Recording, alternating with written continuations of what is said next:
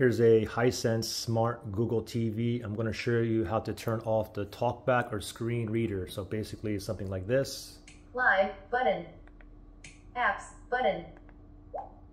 I apps live button. So we'll go ahead and turn Press this select off. to activate. Okay, so first thing is just go to settings. You can navigate to the settings on the gear icon on your TV, or you can simply just click on the settings button, the gear icon in your remote.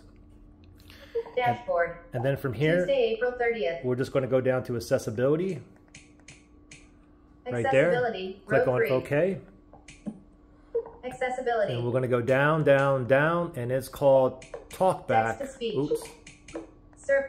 Talkback on. It's on talk. It's called Press TalkBack on this. TV. Okay. So I'm going to go ahead and select OK on the remote.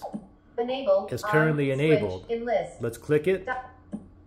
Stop talkback. to stop, Stop it. talkback. Click on Select OK. no- It's already highlighted, and now it's off. There you go.